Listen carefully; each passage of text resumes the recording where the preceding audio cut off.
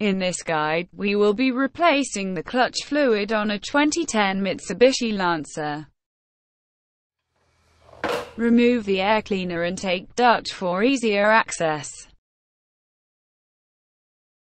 Locate the bleeder valve. Remove the dust cap and attach a clear hose to the bleeder valve.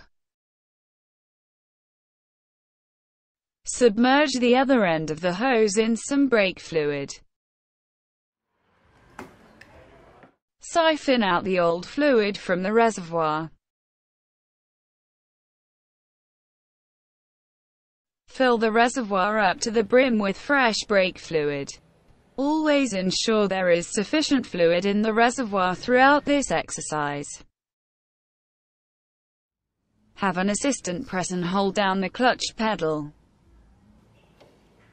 While the pedal is held down, open the bleeder valve using a 14 mm wrench.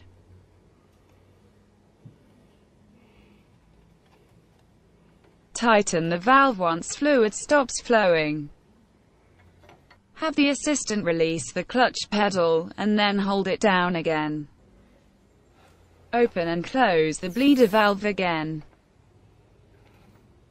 Repeat these steps several times until clean fluid flows out of the bleeder valve. Here's a comparison between fresh clutch fluid and one that has been used for 20,000 miles.